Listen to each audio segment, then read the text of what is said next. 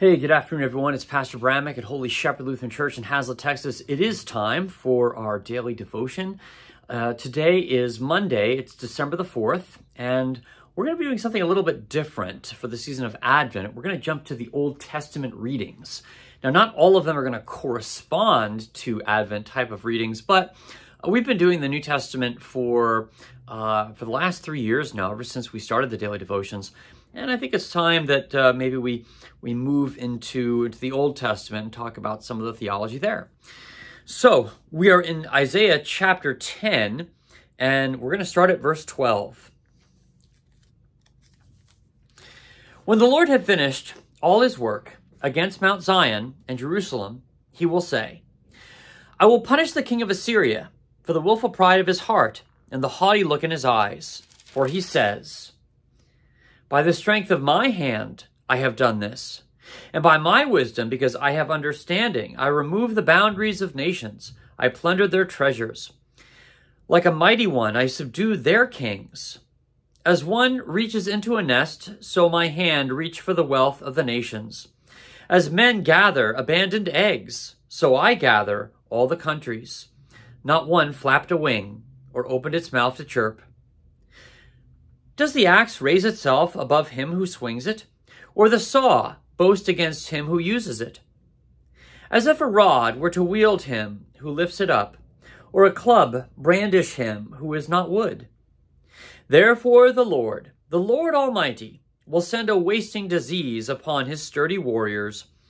Under his pomp a fire will be kindled like a blazing flame.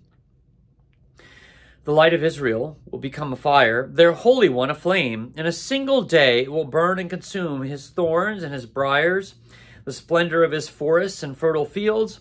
It will completely destroy, as when a sick man wastes away, and the remaining trees of his forest will be so few that a child could write them down.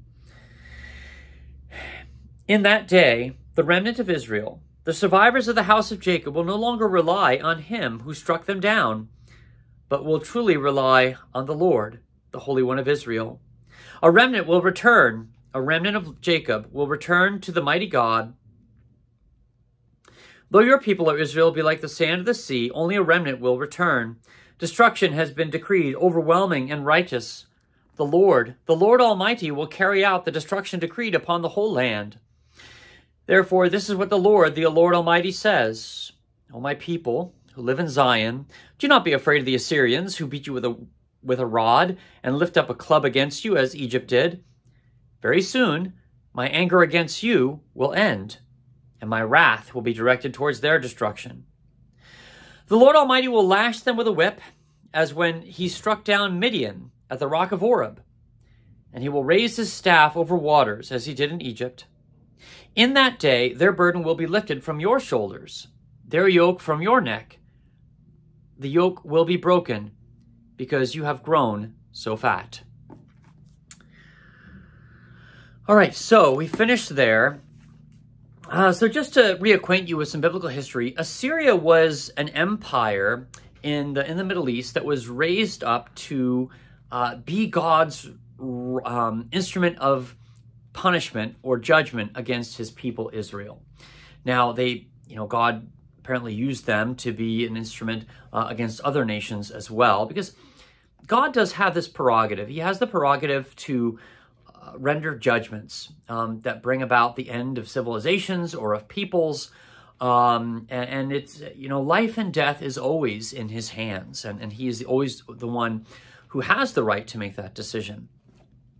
And so uh, the Israelites were you know, they were divided up into to two different uh, sections. We'll call it the northern section and the southern section. So the northern section included um, the northern 10 tribes, and the southern section included the southern two tribes. And each of them fell to different empires at different times. So uh, the uh, Assyrian Empire conquered the northern 10 tribes uh, in 722 BC, the 8th century. And, uh, you know, they moved through the northern uh, kingdom and they got to the doorstep of the southern kingdom. And uh, the southern kingdom was going to be next, but they uh, they repented, and so God relented. And, uh, you know, God's anger then turned upon the Assyrians. Now, Isaiah quotes the Assyrian boasting today um, that the Assyrians did all of these things and they think that they did them by their own hands. And God's response to that is, no, I'm the one who raised you up. I'm the one who who used you. Uh, you know, the axe, uh, the axe is not above the one who wields it, as uh, as Isaiah says today, meaning God is the one wielding the axe. It's not the axe who is uh, that is wielding itself, and so that's the the analogy that God uses.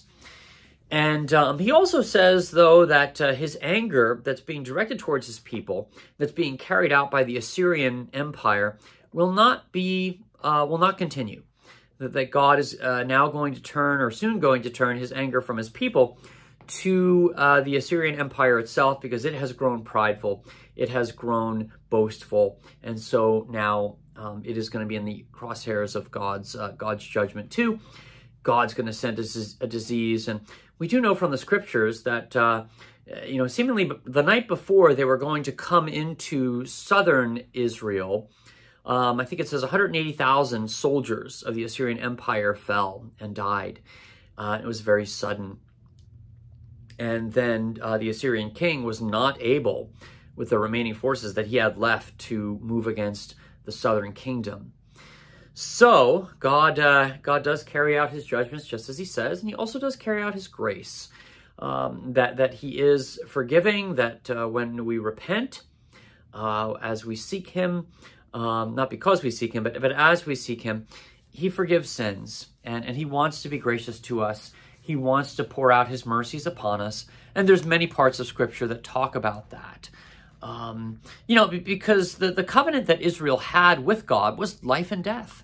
Um, keep this covenant, you will live. Break this covenant, turn to other gods, and then you run the risk of, of God's judgment. Um, but he would rather be the God of mercy. He would rather be the God of love. And we seek him on these grounds in word and sacrament today as well.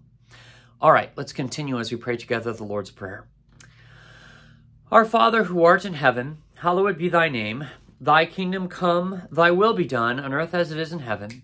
Give us this day our daily bread, and forgive us our trespasses, as we forgive those who trespass against us. And lead us not into temptation, but deliver us from evil. For thine is the kingdom, and the power, and the glory, forever and ever. Amen. The Lord bless you and keep you. The Lord make his face to shine upon you and be gracious unto you. The Lord lift his countenance upon you, give you his peace. Amen. Okay, announcements for today. So, thanks to all who attended the uh, Lutheranism during the Third Reich Bible study yesterday. I, I, think I had three times the attendance or more um, than we usually get in Sunday morning Bible study. So that's a great start. Um, the, the study is going to continue to build and it's, it's going to continue to get more interesting. We just covered the introductory segments to it last time, and I'm looking forward to start to get into the meat of things this coming time, and especially um, the week that follows. So um, please keep coming. I just posted a Zoom link recording to this on YouTube, and then put that up on our Facebook page. So you can check that out if you would like to watch. Um, if you were if you weren't able to attend and you want to catch up on this past Sunday's lesson. Uh, let's see, what else? Um, Claire is under the weather this week, and so I'm not sure about the status of youth group, but um, she will touch base with all of you probably late Tuesday, early Wednesday. Uh, this Thursday, we do have uh, Mahjong happening at uh, its time slot of 10 a.m. And then this coming Saturday, we do have the uh, church workday happening at 8 a.m. Uh, we really need to clear some leaves and some other, you know, lawn debris so that uh, the, the property will drain effectively and, and just, you know, get everything ready for winter. So if you want to come up, bring a rake. We'd love to have your help and participation. 10.30 a.m. this Saturday, Mary Visaggio is also doing a special grief share about surviving the holidays.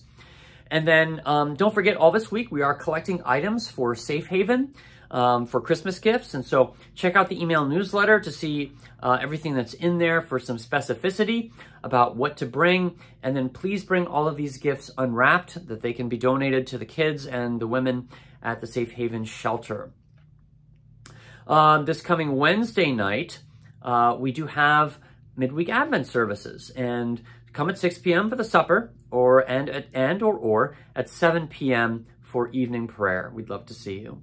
All right, that's all the announcements I have for today. God bless you. Thank you for watching our devotions. And um, you can check out the Third Reich Bible Study on this same YouTube channel. If you're new to us, don't forget to subscribe, and uh, God's blessings be upon you. Bye-bye.